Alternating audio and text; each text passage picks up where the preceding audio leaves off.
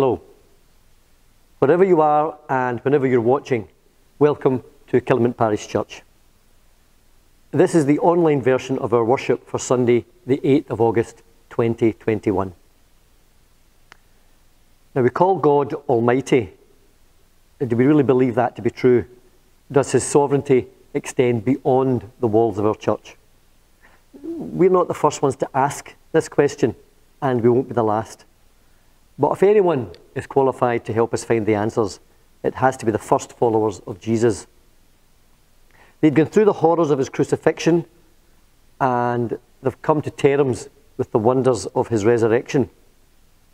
Filled with the Holy Spirit, they're putting their lives online to tell everyone that Jesus lives. Messiah and God. Yes. Peter and John, the apostles and the believers, are uniquely qualified. But to prepare ourselves, um, we'll first pray together. Let us pray. Sovereign Lord, you made heaven and earth and everything in them. In love, you shape plans and purposes for everyone. You design more and better life than we can even dream of. Peace, justice, truth, and grace are your building blocks. Strong God, you offer us true security. Instead, we scrabble for scraps of power. We grasp at flimsy things. In panic, we lash out. Because we're foolish, we pretend that you don't exist. We make so much noise that we cannot hear you. Almighty God, Forgive us, we pray. Look past our posturing. Pardon our cruel plotting. In your mercy, shake our lives free of self-imposed burdens. Fill us with freedom, and may your spirit be our confidence and our courage. Loving God, the powers who thought that they were killing Jesus of Nazareth were in fact fulfilling your intention to save all of humankind the cross turned evil upon itself. The resurrection smashed the dominion of death. And now your Son reigns, our Lord and Saviour. Nothing and no one can ever defeat you.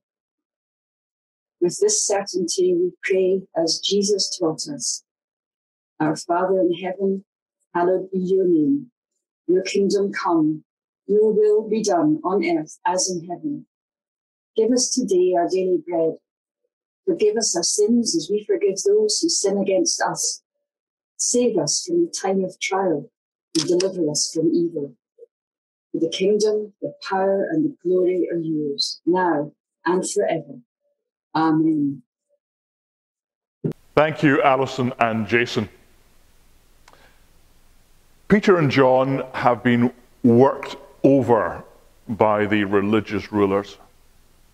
The apostles' arrest would not have been gentle, and their overnight accommodation while they awaited trial somewhat lacking in luxury. And they'd been threatened never again to speak to anyone in the name of Jesus. The very same people who, along with the Romans, had killed Jesus. For me, I'd be heading on the first donkey out of Jerusalem. Jesus of Nazareth? Never heard of him. But Peter and John take a very different tack. Do you think God wants us to obey you rather than Him? We cannot stop telling about everything we have seen and heard. And so the great manifesto for the church is spoken into the historical record. Do you think God wants us to obey you rather than Him? Cannot stop telling about everything we've seen and heard. For me, well, I'm in awe of the clear sighted courage of Peter and John. But where does that courage come from? What do Peter and John see that I struggle to glimpse? And what about the other believers, now numbering in the thousands? Will they take fright, drop Jesus, and head for the hills or the plains, valleys, villages, and towns from whence they came. This is an amazing story. that should instruct and inspire us. But before Alison reads the next chapter, I invite you to join me in prayer. Lord God, we're about to read from the Bible. Give us pause to feel the gravity of your truth, the lightness of your love, the incalculable privilege of being the children to whom you speak. Amen.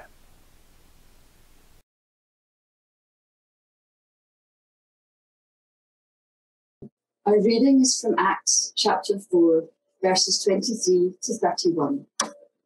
The believers pray.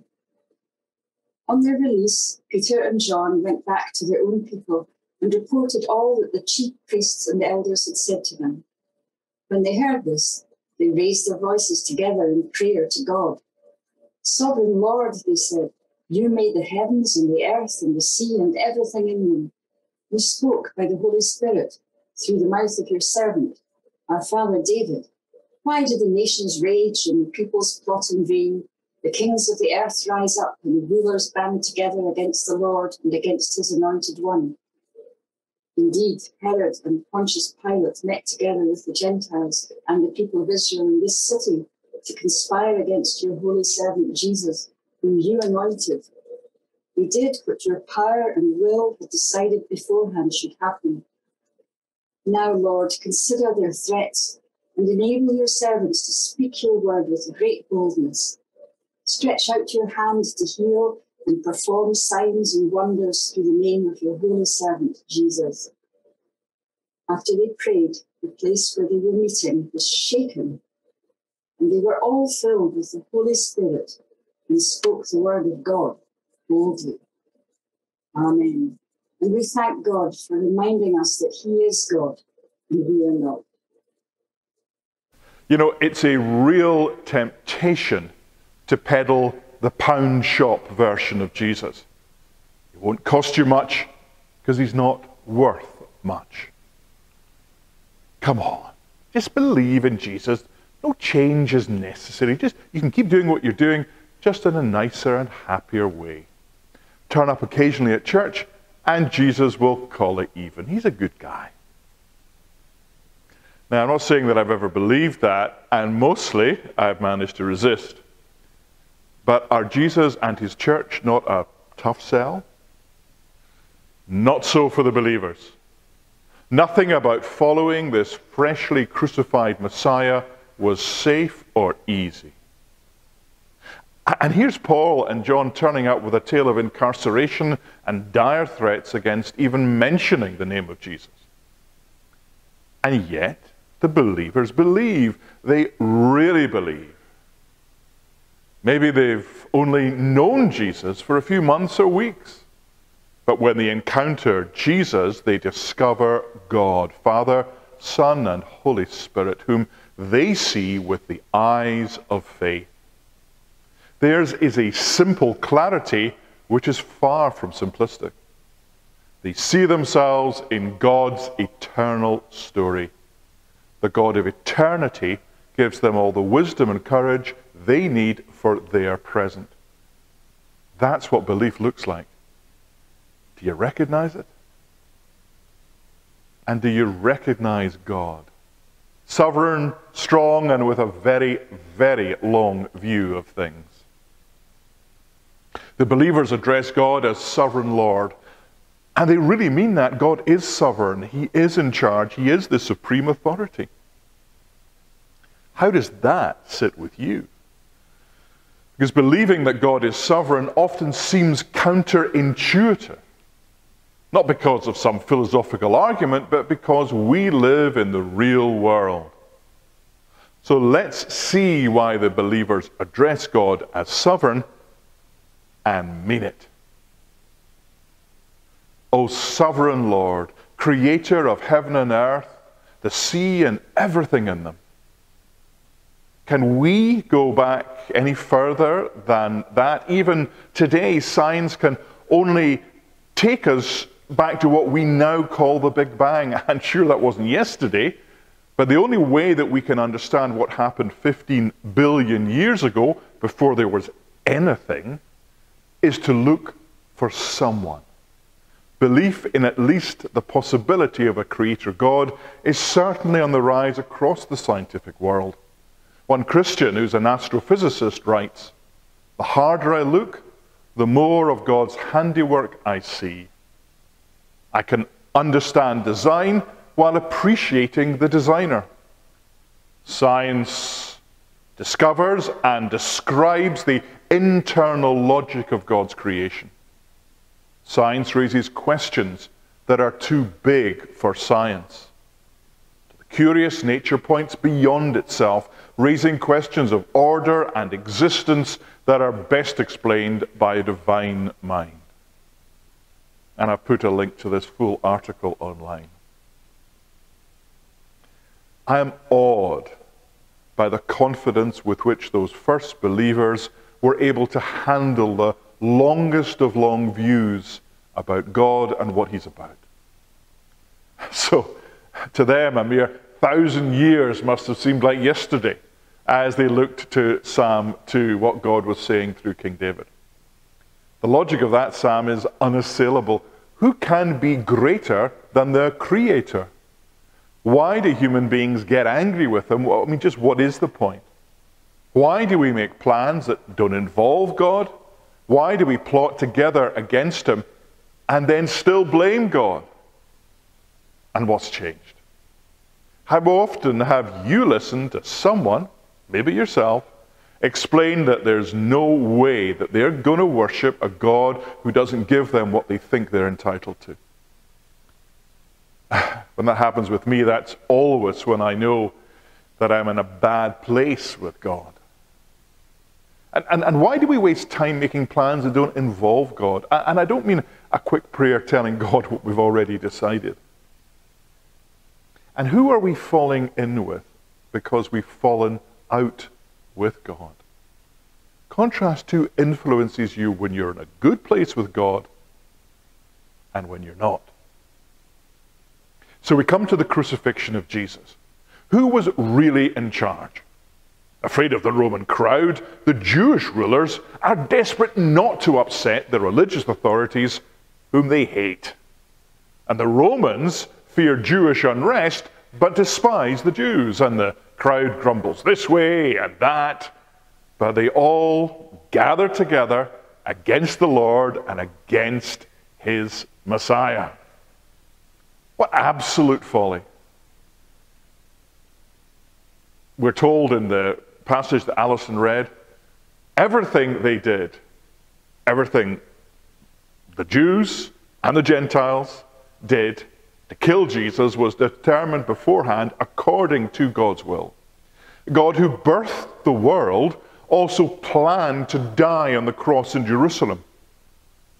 As the French theologian Henri Blocher explains, Evil is conquered as evil because God turns it back upon itself. He makes the supreme crime, the murder of the only righteous person, the very operation that abolishes sin. The maneuver is utterly unprecedented. No more complete victory could be imagined. Now we know.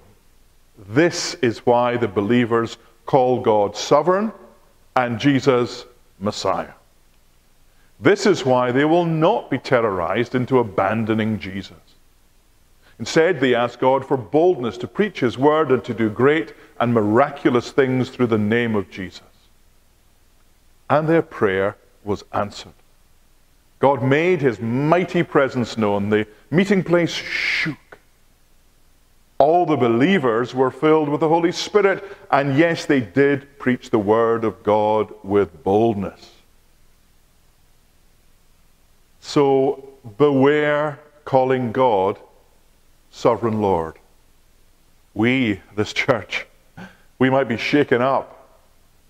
And beware looking beyond today's little bubble. We might glimpse eternity. and beware giving God his place as creator. We might become bold to speak of Jesus and beware of speaking of Jesus. We might start doing amazing, healing, restoring things here in our communities and our families. And we wouldn't want that, would we? Amen. And to God alone be the glory. And Jason will now lead us in our prayers for others. Here is our prayer for the world. Let us pray. Dear Lord, we watch the news on our televisions and we read the news in our newspapers. We listen to the news on our radios and we read about it in our phones, laptops, and other electronic devices. We see the fires in Italy, Greece, and Turkey, floods in the Sudan, Niger, and Tanzania, and we watch the horrors of war in Afghanistan and Syria. We see the refugee problem in Nicaragua, Colombia, and Mexico. Whether it's a global pandemic or global climate change, it always seems to be bad news. Lord, can we be forgiven for thinking that we're in a hopeless, helpless situation? God, help us to remember that without you, we are hopeless and helpless, but that with you, we can achieve anything. So, Lord, please help us find not just solutions to our problems, but solutions that show your hand in these solutions. Your hand, your compassion, your love, and your great power.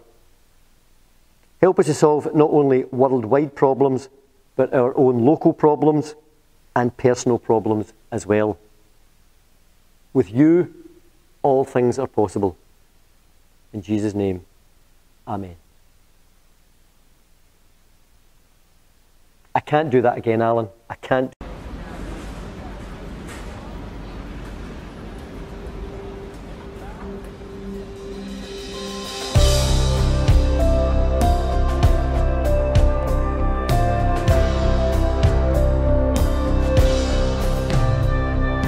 We seek your kingdom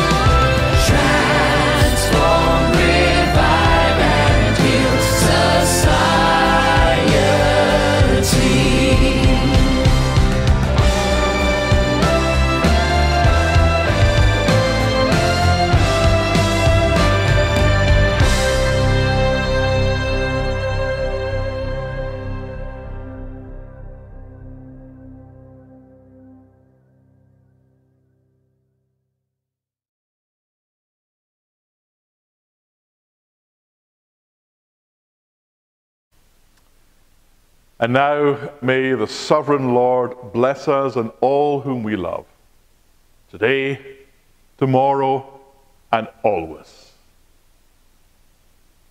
Amen.